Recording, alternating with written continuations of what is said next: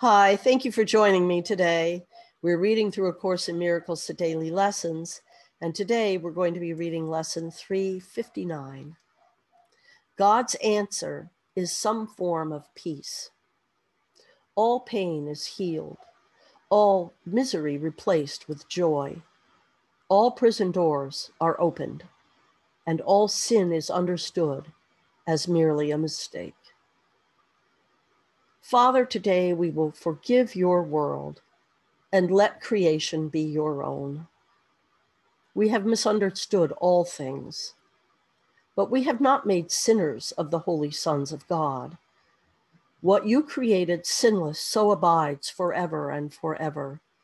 Such are we, and we rejoice to learn that we have made mistakes which have no real effects on us. Sin is impossible and on this fact, forgiveness rests upon a certain base more solid than the shadow world we see. Help us forgive, for we would be redeemed. Help us forgive, for we would be at peace. This is a beautiful lesson.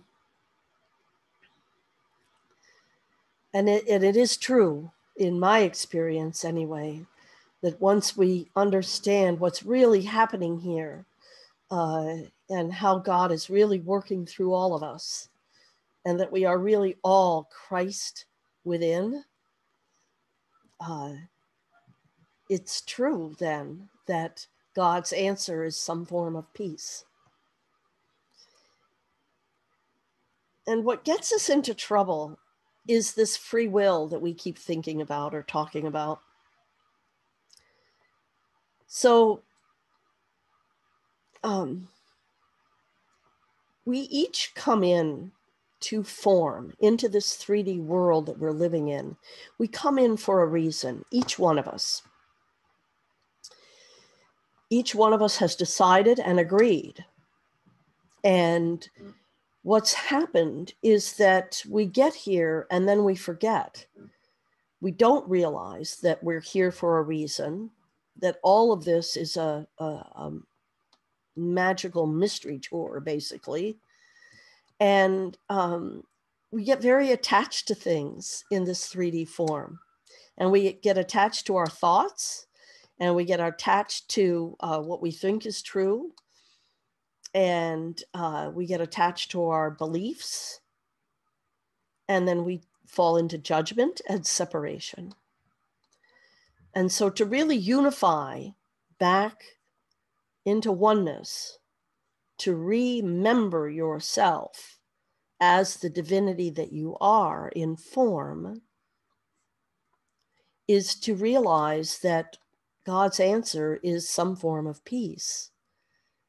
And that when you realize that what looks like sin what looks like things that are wrong in this world are merely people doing things in an unconscious way. They've forgotten that they're divinity, they don't know.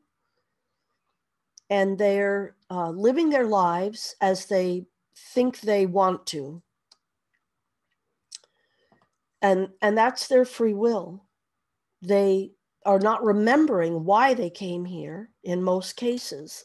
Because if you remember why you came here, then free will no longer is a is an option for you. Um, you give up free will, and you uh, and you embrace divine will.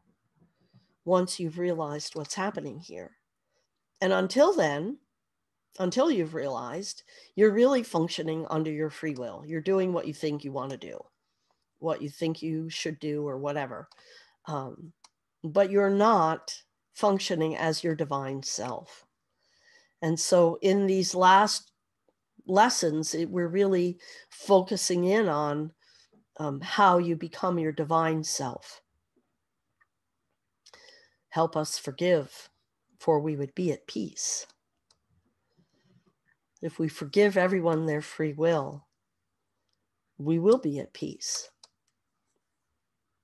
because we'll understand that we look upon the things and the mistakes or the the problems that we see in the world and the people doing them. And we'll realize that they're not horrible things and they're not horrible people. They're just simply mistakes. They're not moving us towards creating heaven on earth. And pretty much everything that isn't moving us towards creating heaven on earth, it's just a mistake. So I hope you have a great day with this lesson today. Feel free to reach out to me, 907 351 3003. You can uh, message me through Facebook or YouTube or SoundCloud, or also my websites, lyndalamp.com, lyndalamp.shop. Until tomorrow, namaste and much love.